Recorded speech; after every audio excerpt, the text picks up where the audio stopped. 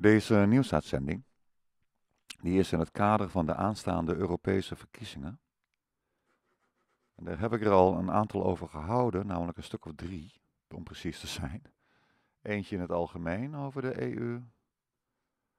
Eentje over het immigratiebeleid van de EU. En eentje over de klimaatpaniek van de EU. Ik verwijs je bij deze naar die andere uitzendingen. Ik zal proberen om een intro te houden van 10 minuten om mijn punt van deze keer samen te vatten. En dat gaat over financiën. En dat baseer ik dan op deze website, die is van de EU zelf, europa.eu. En dat beweert een EU-begroting voor te stellen in één oogopslag.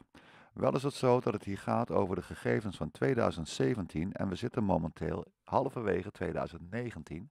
Dus in anderhalf jaar tijd hebben ze ja, niet uh, ja, eventjes 2018 of zo. Uh, ja, dat, ja, in de afgelopen maanden hebben ze niet 2018 op een rijtje kunnen krijgen. Laat ik het zo maar zeggen. Ik ben benieuwd wanneer 2018 dan hier bijgewerkt wordt.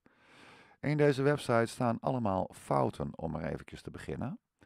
Ik pak even de hoogste fouten, de grootste fouten eruit. Hier staat België. Die heb je dus gekozen voor België. Je kan dus kiezen voor uh, een land. Die landen staan niet op alfabet, by the way. België, Bulgarije, Tsjechische Republiek en dan Denemarken. Dat is niet op alfabet. Maakt het erg lastig om een land op te zoeken.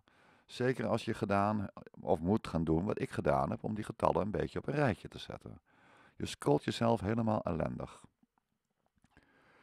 Gaan we als eerste even kijken naar de EU-bestedingen per land. Dat is dus de hoeveelheid geld die België heeft gekregen van de EU en waar dat voor bestemd was.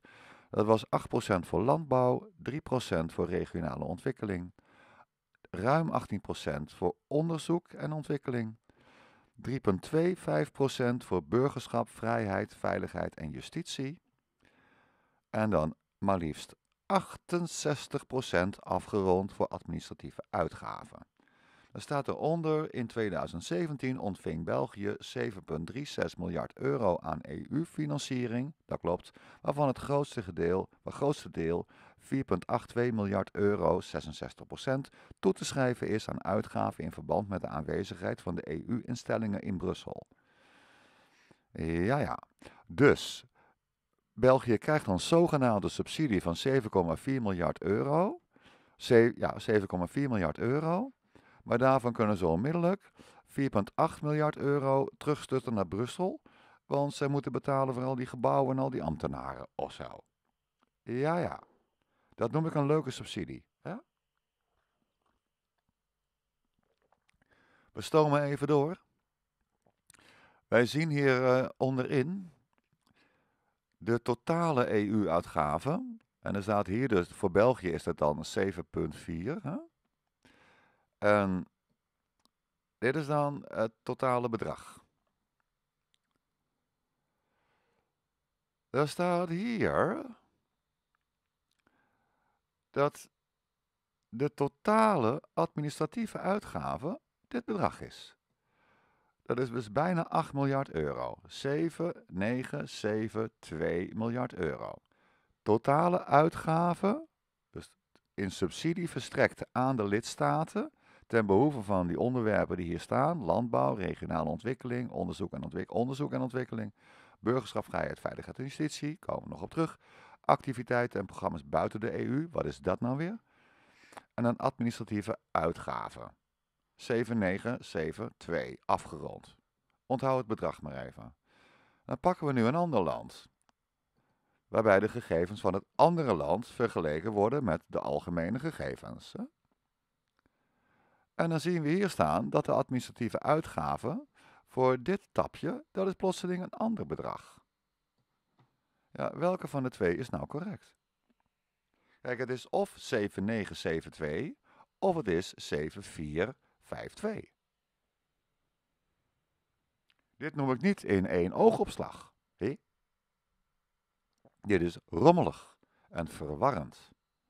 En wat ook heel erg irritant is, is dat de gegevens voor België niet kloppen. Want hier staat 0, punt, of 3,25% voor burgerschap, vrijheid, veiligheid en justitie. Ik zou bij Tautatus niet weten wat dit inhoudt. Landbouwsubsidie heb ik al moeite mee. Wat houdt dat in? Maar, hè? Burgerschap, vrijheid, veiligheid en justitie. 3,25% Waarom staat hier niet eurotjes bijtjes? En dat is dan 3,25% van dit bedrag. Nou, pakken we de rekenmachine erbij. Het bedrag staat er al hoor. Maar ik zal even laten zien dat het echt klopt. 0,0325, dat is 3,25% keer 7, 3, 5, 8, dus 7358 miljoen. Dus ik rond het even af. En dat is 239 miljoen voor burgerschap, vrijheid, veiligheid en justitie. Ik laat het bedrag even staan. Doe de website een stukje opzij. Een seconde. Hier staat het bedrag. Dan gaan we naar beneden scrollen. En er staat hier dat België heeft gekregen dit bedrag. 256 miljoen. Maar hier staat 239 miljoen. We hebben al twee fouten gevonden. Hè? We zijn er maar uh, vijf minuten bezig. Um, het allerbelangrijkste is, het staat niet in één oogopslag. Hebben we ook nog dit fijne leuke bedrag. De Belgen betalen 244 miljoen aan korting voor het Verenigd Koninkrijk. Maar wat is dat nou weer? Sinds wanneer moeten Belgen betalen voor de korting die het Verenigd Koninkrijk heeft gekregen? Dus het Verenigd Koninkrijk is kennelijk, die heeft een korting bedongen. Maar wij willen korting. Uh, wij willen korting hoor. Want anders, uh, ja, dan gaan we Brexit. Uh, nu korting. Ja, dan moet de rest moeten we even gaan lappen. Ja, ja, ja, ja, ja. En ik heb ook al gezien op een Nederlandse site dat, dat Wopke, Wopke de Flopke, die, die financiële minister van Nederland, dat hij heeft gezegd van ja, als Brexit doorgaat, dan komt er 10% eh, op onze bijdrage bovenop. En dan denk ik, ja, wat? Ze zitten er nu in en ze krijgen 244. Nou, ze krijgen 244 miljoen euro korting op hun bijdrage, want dat betaalt België even. Ja, ja, ja, ja. Nou, lieve mensen, als ik het heb over de EU-begroting in één oogopslag, dan wil ik dit zien. Snappy. Even kijken hoeveel tijd we zitten. 2,38. Ja, we zitten aan de 10 minuten. Nou, ik kan niet uh, in deze minuut die nog over is, uh, deze sheet gaan bespreken. Ik heb het alleen over gehad dat deze website niet de EU-begroting in één oogopslag is. Dat is namelijk dit. Hier kan ik het in één oogopslag zien. Hier kan ik bijvoorbeeld aan zien, in één oogopslag, dat wij per ambtenaar bij de EU 345.000 euro betalen. 345.000 euro per ambtenaar.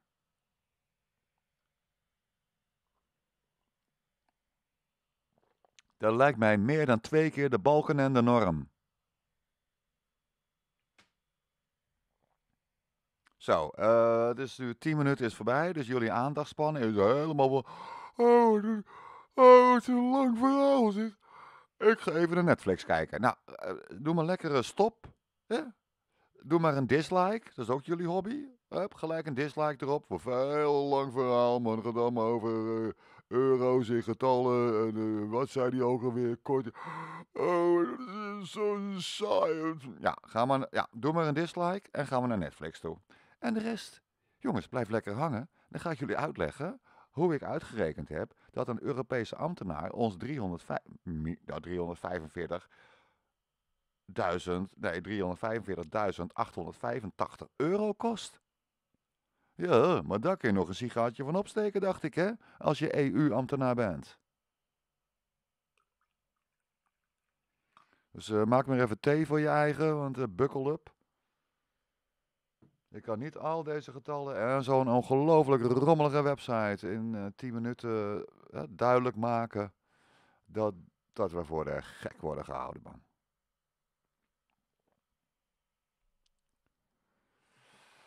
Nou, uh, jullie hebben inmiddels thee gezet, dus mooi. En die thee ook lekker in het kopje, ik in ieder geval wel. Ik ga even beginnen met de openingstekst van deze website. En er staat: We vinden het belangrijk dat belastingbetalers in de EU een duidelijk overzicht hebben van waar het geld van de EU naartoe gaat en waar het vandaan komt.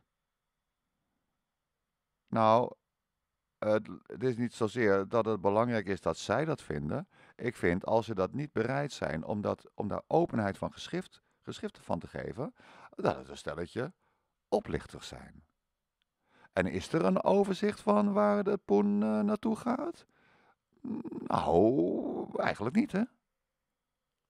Maar dan komen ze dadelijk wel op. Hè? Dat willen we met deze tool laten zien. Nou, ik heb net laten zien in de volgende 10 minuten openingstekst dat het eigenlijk een beetje rommelig is. Hè? Onze applicatie kan wellicht een beter inzicht geven in de werking van het meerjarig financieel kader. Ja, misschien als je die rekenfouten eruit haalt. En de jaarlijkse begrotingen en plaatst de cijfers voor uw land in een Europees perspectief. Nogmaals, het zit vol met rekenfouten. Is dat Europees perspectief? Dat je zo'n beetje natte vinger, ja, 10% meer, 10% minder, blablabla. En dan krijg je dan uh, bij de laatste alinea, uh, 2017 was het vierde jaar in het MFK, dat is dan het meerjarig financieel kader, van 2014-2020. De totaalbedragen zijn lager dan in het voorgaande uitgavenplan. En het aandeel van de uitgaven voor onderzoek en ontwikkeling is sinds 2016 van 12% tot 14% gestegen. Ja, maar wacht nou eens even. Uh, hier staat dat de totaalbedragen lager zijn dan in het voorgaande uitgavenplan. Maar hier onderaan staat dat de EU-begroting 2007 tot en met 2017 met 20% is gestegen. Ja, is het nou gestegen of is het lager?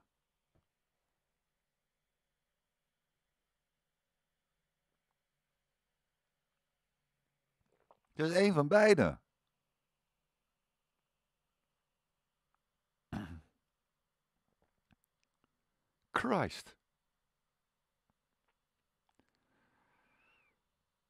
Nou, gaan we even kijken. Laten we het oppakken.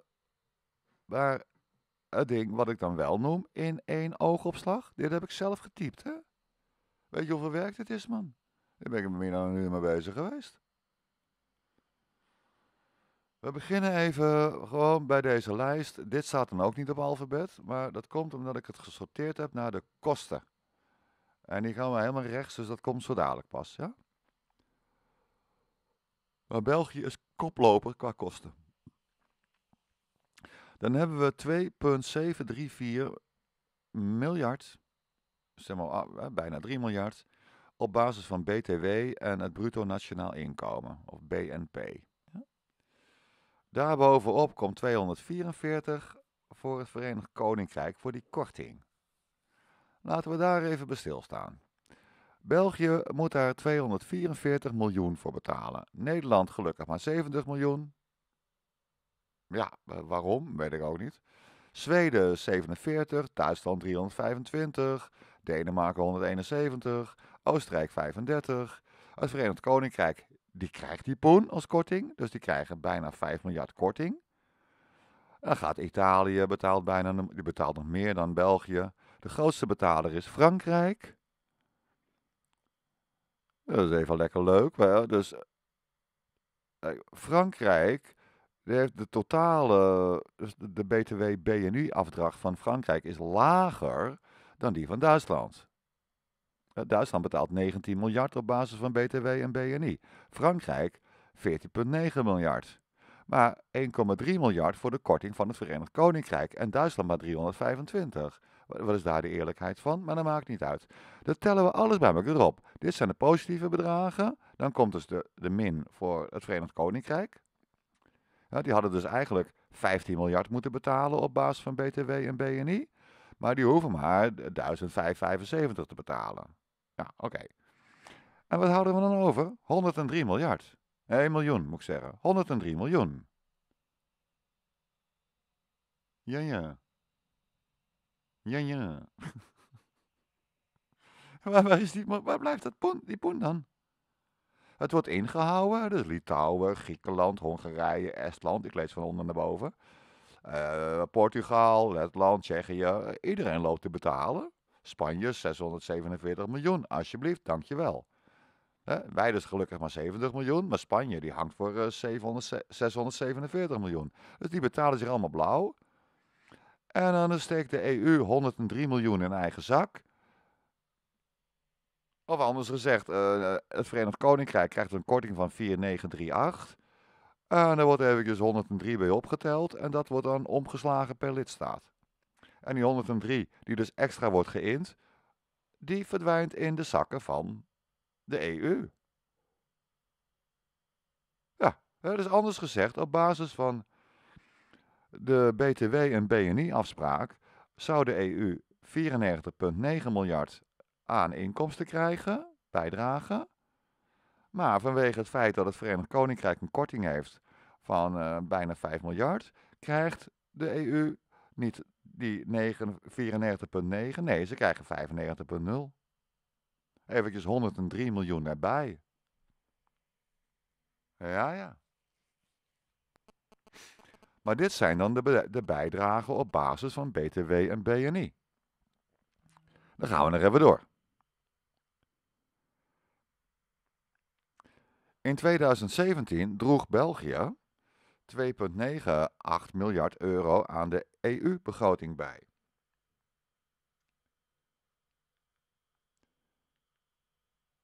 Even een sms'je binnen.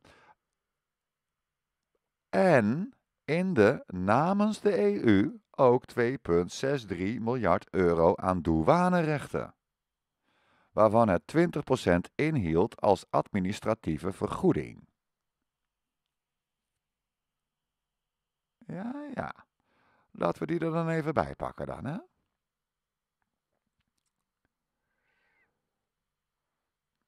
België betaalde 2,978, ze hebben afgerond 3 miljard van de bijdrage.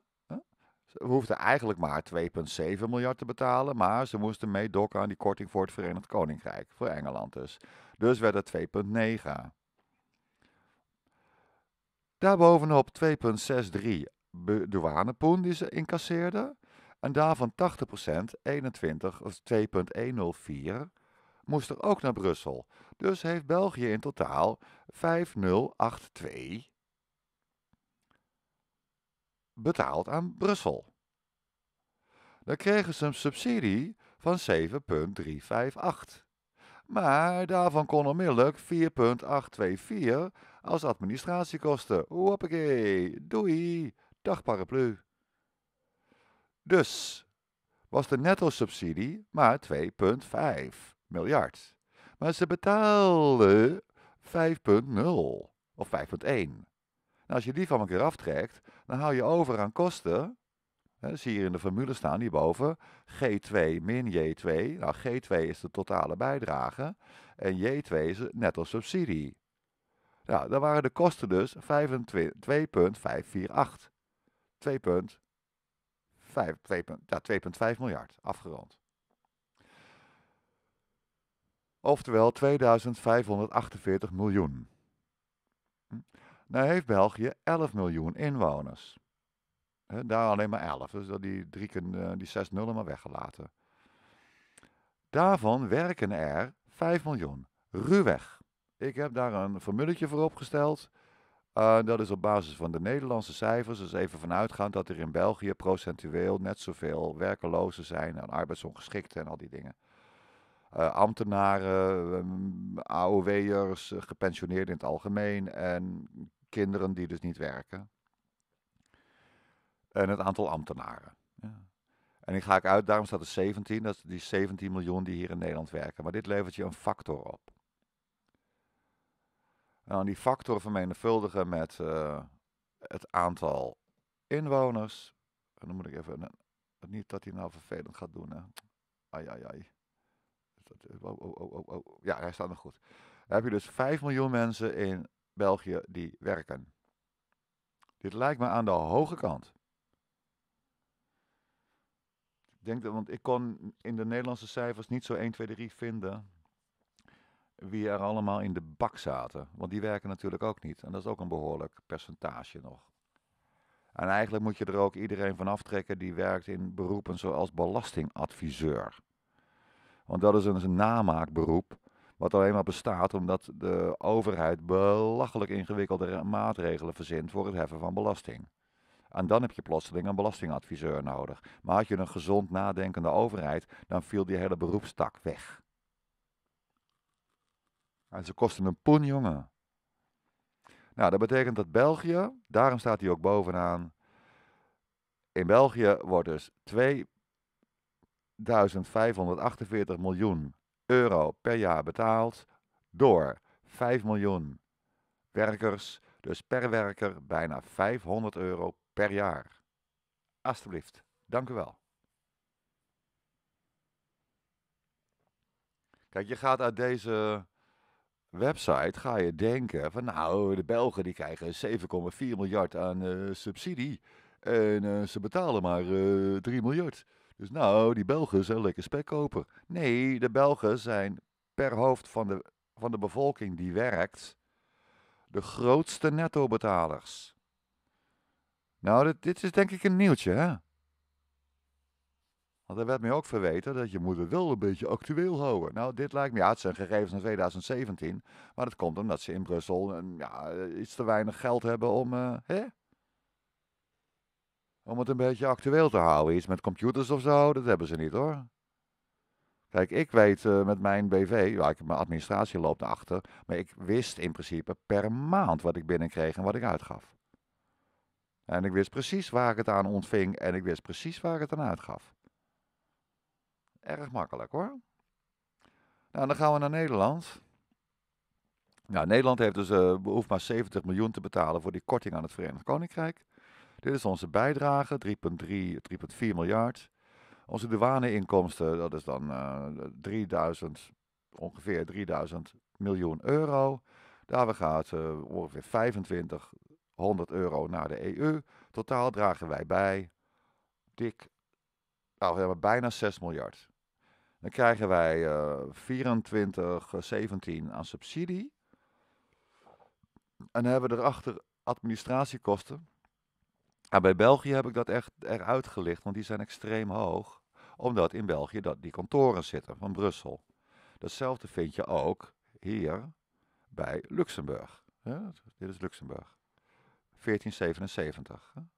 En die andere, die heb ik uh, maar gewoon omgeslagen. Dus 7972, dat, dat bedrag heb ik aangehouden. Dit is de totale administratieve kosten. En dan minus die 1477 van Luxemburg plus die 4824 van België. Die trekken we ervan af. Dat delen we door 26 en wat houden we dan over? Ja, dan houden we over 64. En dat heb ik omgeslagen zowel voor al die andere landen om dan ongeveer uit te komen op het juiste bedrag. Het is eigenlijk voor Nederland iets hoger. Het is bijna twee keer zo hoog als je dat precies uitrekent, maar daar had ik geen zin in. Het scheelt niet zo heel veel. Er komt eigenlijk iets van 50 miljoen komt er nog bij. Maar ja. Kortom, de netto uh, subsidie die we ontvangen is dus uh, 2353. En dat betekent dat onze Europese kosten, die bedragen 3.500 miljoen euro per jaar. Omgeslagen over een werkende beroepsgroep, beroepsbevolking die daadwerkelijk werkt van 8 miljoen, is dat 436 euro per jaar per arbeider. En nogmaals, dit is aan de, het eh, bedrag is aan de lage kant, want het aantal mensen in Nederland dat werkt is volgens mij niet 8 miljoen. Dat maak je mij niet wijs.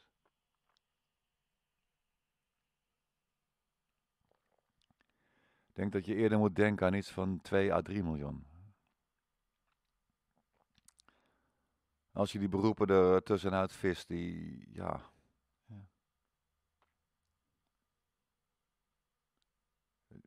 De, de vraag is wat je nou mee moet tellen. Al die mensen die leven van andere mensen, die. Ja. Het gaat mij meer om degene die productie draaien. Snap je? Dat zou je moeten rekenen. Maar goed, altijd nog 436 euro per jaar wat je betaalt. Nou, dan gaan we die andere landen even af.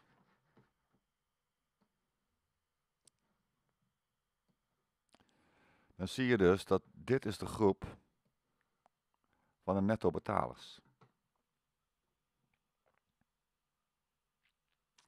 Ja.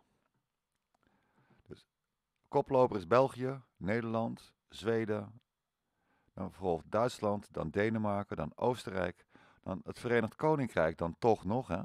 ook al hebben die die korting van, van bijna 5 miljard, toch betalen ze in het Verenigd Koninkrijk 241 euro per arbeider. Een leuk bedrag, hè? Italië zit erbij, Frankrijk zit erbij, Ierland zit erbij, Finland zit erbij en Cyprus. Maar Cyprus is het maar een klein bedragje hoor. En er staat hier werker nul, maar dat is niet helemaal waar. Het is afgerond uh, nul. Ik kan het nog eventjes uh, de opmaak aanpassen voor die ene cel. Door twee decimalen. Ja, 0,47. Ja. Er wonen niet zoveel mensen op Cyprus. Maar die betalen dan effectief dan 34 euro per jaar pp. Nou, en dan beginnen de jongens die gaan cashen. Spanje trouwens, die. Kijk hoor, die. K14, de L14. Wat zal die zijn? Dan pak ik ook eventjes. Uh, ik weet niet of daar een minnetje in zit hoor. Ja, Spanje is eigenlijk nog een netto betalen, maar die betaalt dan 18 eurocent per uh, Spanjaard. Ja. ja, laat maar zitten. Zeg maar nul. Ik zal maar even terugzetten voor de netheid. Dat is ongeveer nul. Zo goed als nul. Nou, en dan beginnen we met die jongens die gaan verdienen. In Slovenië krijgen ze poen. In Luxemburg krijgen ze ook poen. Ja, maar dat slaat helemaal nergens op, hè? Luxemburg is een van de rijkste landen met de gemiddelde rijkste burgerij van Europa. En daar krijgen ze per Luxemburger, dus daar heb ik dus niet die, die opbrengst heb ik niet omgeslagen per werker. Nee, die heb ik opgeslagen per inwoner. Want die inwoners, kijk, die werkers, die betalen. Hè? Dus die moeten die kosten ophoesten. Maar dit stroomt alleen maar binnen. Nou, Luxemburg, eh, die heeft dus 21 miljoen wat ze krijgen van de EU op een bevolkingsgroep van 590.000 mensen. Ja, dus per Luxemburger stroomt daar 36 euro per jaar naar binnen. Is dat niet zoveel, maar ik vind het nergens op slaan. Waarom betaalt Luxemburg niet mee in de categorie zoals Nederland mee betaalt? Dus uh, zo'n 3 à 400 euro per jaar.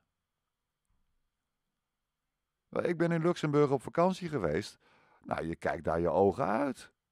Wat een mooie winkels, allemaal dure kleren, en, een luxe eten en, en een benzine, hartstikke goedkoop. En, en denk ik, nou, ja. Dat leeft er een beetje als een god in Frankrijk.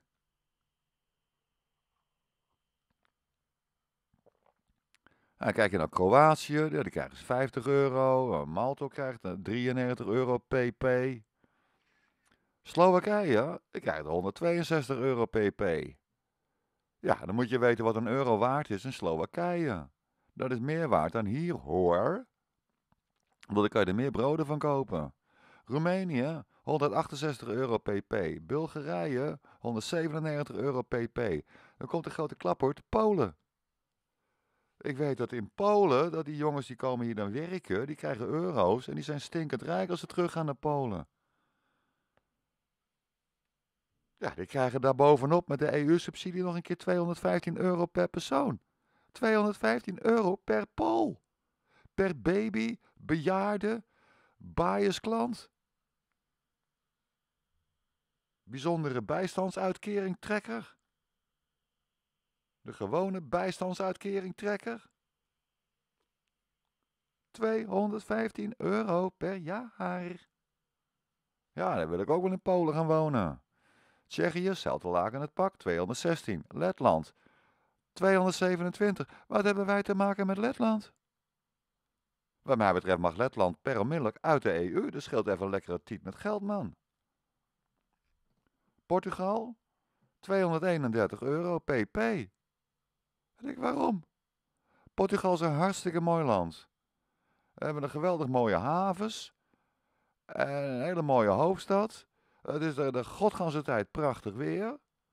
En dan moeten ze daar bovenop van ons nog 231 euro krijgen. Waarom? Spanje krijgt helemaal niks. En Portugal 231 euro pp. Oh ja. Nee, ik ben er nog helemaal bij.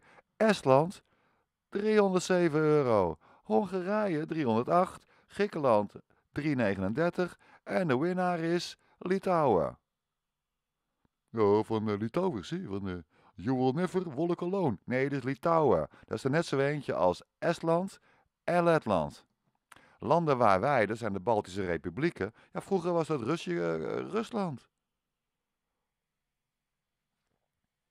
En nu hoort het bij de EU. Dan krijgen we daar een partij poen, man.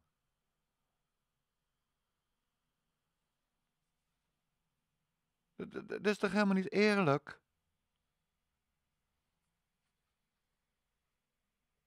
Wij moeten betalen. En Letland, uh, die gaat er vandoor met de centen. Nou, dan krijg je de, de totale kosten van het hele EU-gebeuren. Die staan dan hier. Dit kost het allemaal. Kijk, vanaf hier beginnen de minnetjes. Hè? Dit, dit vloeit dan terug naar landen. Hè?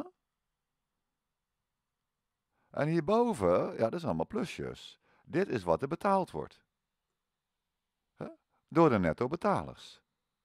Huh? Deze groep. Nou, dit stroomt dan terug. En wat blijft er dan, als je het allemaal bij elkaar optelt, blijft er over 11,734 miljard.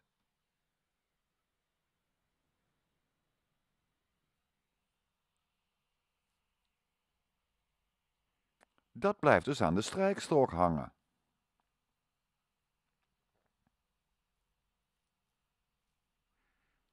Ja, dat is even lekker gezellig, hè?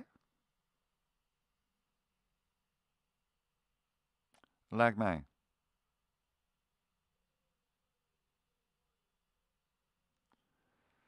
Dat had hieronder deze, dit, wacht even, ik zal deze, dit, deze haal ik weg. Dan doe ik even nog wat slims. Dit is de som. Aanhalingstekens openen. Van de werkers. Totaal zijn er 160 miljoen werkers. En dan is dit de som van alles wat er betaald wordt. Gedeeld door dit totaal. Ja, dus gemiddeld wordt er in de landen dat er betaald wordt aan de EU 244 euro per maand aan de EU betaald. Dat zien we nooit meer terug. Dit tikt even lekker aan hoor. Nou, dan heb je die 11 miljard, bijna, bijna 12 miljard. Maar daarvan vloeit er 2 miljard terug naar de lidstaten voor burgerschap, vrijheid, veiligheid en justitie. Ja, dat, dat heb ik. Oh, waar, waarom? Waar blijft die poen?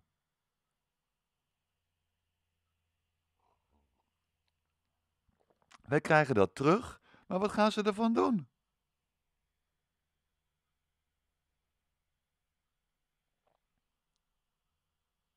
Eh, een, een vriend van mij, eh, die was bestolen, zijn bedrijf was bestolen van een bus met uh, audio uh, meukapparatuur. Ter waarde van uh, meerdere tienduizenden euro's. De politie deed helemaal niks. Toen heeft hij een privédetective ingeschakeld. En die heeft netjes foto's gemaakt, want die had die bus uh, gelokaliseerd. Die stond ergens op een woonwagenkamp. Van de Sinti of van de Roma.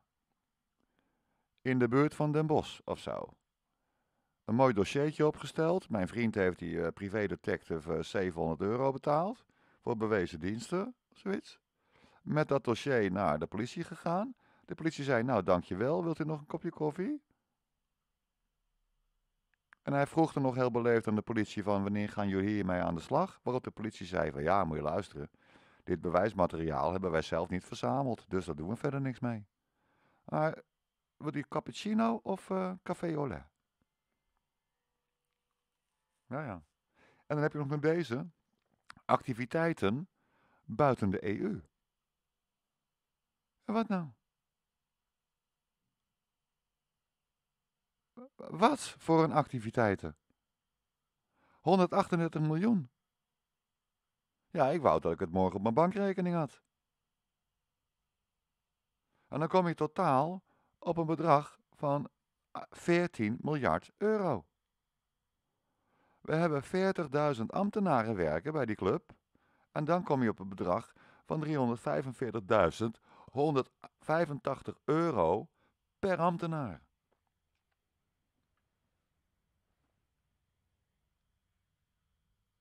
Wat is hier eerlijk aan? Los van het feit dat de EU ons de godganse tijd zit te pesten met belachelijke maatregelen. Ik ben het nog niet vergeten dat het uh, provinciale hoofdkantoor, uh, provinciehuis of zo van Noord-Holland, die had een, een openbare aanbesteding gedaan voor nieuwe koffieautomaten. Van die dingen waar je op die knoppen kan drukken en is een bekertje en een ploep en dan kan je kiezen voor olé of cappuccino. hè? Nou, er stond in die, uh, die aanvraag, in die aanbesteding, er stond uh, dat uh, leveranciers die gebruik maakten van fair trade koffie, die, die, kregen dan een pre. Er was er een ambtenaar van de EU en die zei ophouden daarmee. Dat mag niet, dat is tegen de Europese regels. Toen moest de, de provincie van Noord-Holland, die moest die openbare aanbesteding intrekken. En een nieuwe openbare aanbesteding gaan maken. Ja, wat kostte dat?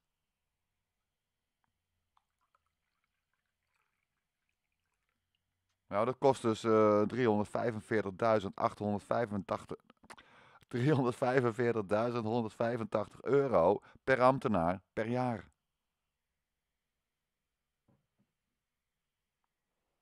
Plus dus de aanhangende kosten van dat soort idioterieën.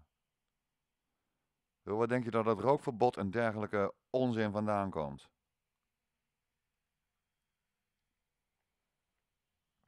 Die klimaatellende.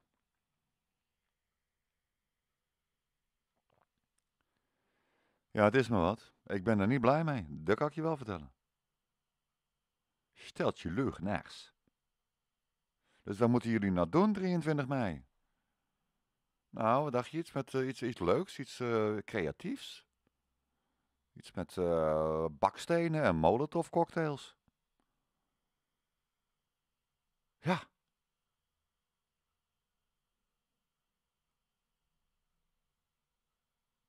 Dat mag toch niet?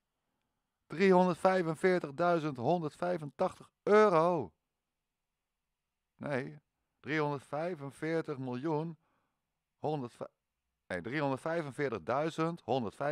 euro per ambtenaar?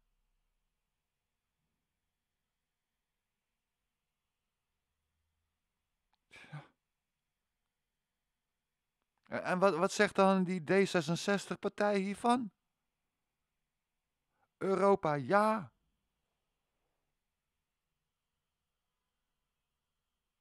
En wat, zeggen die andere lui? Van, uh, ja, uh, geen superstaat, maar we zijn wel voor samenwerking. Want ja, kijk, die samenwerking wordt geregeld door die ambtenaren. En die kosten maar 345.185 euro per jaar hoor. Dat wil zeggen in 2017. Want uh, sinds die tijd, ja, we moeten wel met de tijd mee. En in 2019, ja, willen we toch wel wat meer. In 2019 zit je waarschijnlijk al op 400.000 euro per ambtenaar per jaar. In dat meervoudige meerjarenplan wat ze op hebben gesteld en wat dus hier ook genoemd wordt, de MFK, uh, meerjarig financieel kader, ja, dat heb ik al ingezien tot en met 2000 huppeltje pup, 2017 of zo. Er gaan, wat, er gaan nog hele wij, gaan, we betalen nu iets van 3 miljard, dik 3 miljard per jaar, netto. Dat gaat naar de, de 7 miljard toe.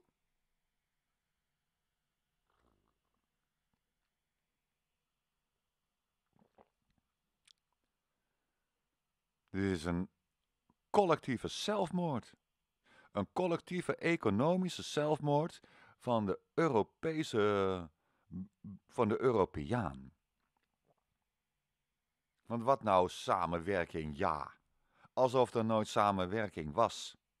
Een klant van mij die werkte samen met Duitse afnemers en die waren hartstikke blij met de samenwerking. Ja, totdat de zesde richtlijn kwam vanuit de EU voor een nieuw btw-stelsel. Dat was dan helemaal EU getransponeerd en uh, geëgaliseerd. Met als gevolg dat die Duitse afnemers tegen mijn klant zeiden van we schaffen das niet. Het risico dat er ooit wat mis zou gaan met een btw-terugvordering was te groot vergeleken met de opbrengst van, eh, met de marge van het product. Want mijn klant die zat in de bloemen. Er zit een marge op van enkele procenten. Ja, en als het dan misgaat met het terugvorderen van die 6% btw, dan ben je een mooi de bok, jongen. Dan heb je een, een kwartaal gewerkt voor helemaal voor nop. Eh, sterker nog, je kan er verlies op draaien. Dan zit je fijn van die Hollandse bloemen aan te schaffen. Te kauwen. En dan door te verkauwen. En aan het einde van de rit, dan kan je bijleggen. Omdat de EU ingegrepen heeft. En is het voorbij met de samenwerking.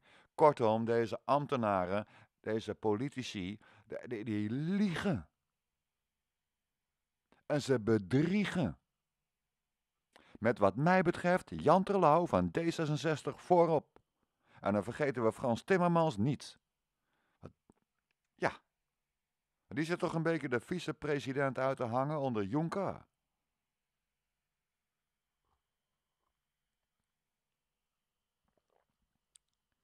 Dus ik ga hem mooi afsluiten. We zitten nou tegen het uur, dus... Uh, hè? Maar ik denk niet dat ik iets ben vergeten uit te leggen. En ik zou wel eens wat meer willen weten over die. Uh, over dat geld dat buiten de EU is besteed.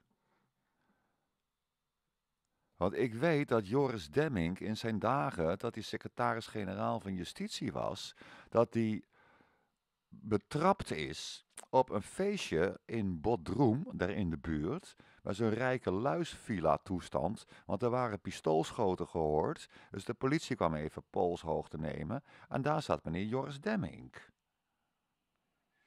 En daar waren ook schandknapen bij aanwezig op dat feest. Ja, drie keer raden wat die schandknapen kwamen doen. Hè?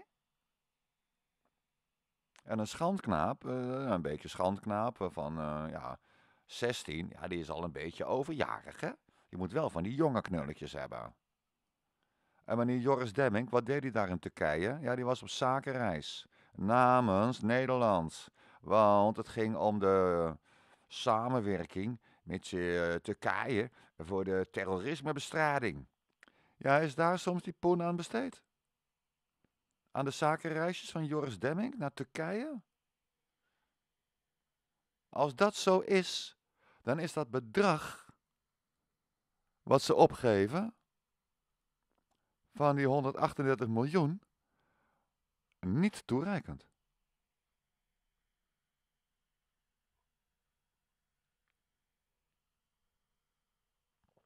Dag en het even weet.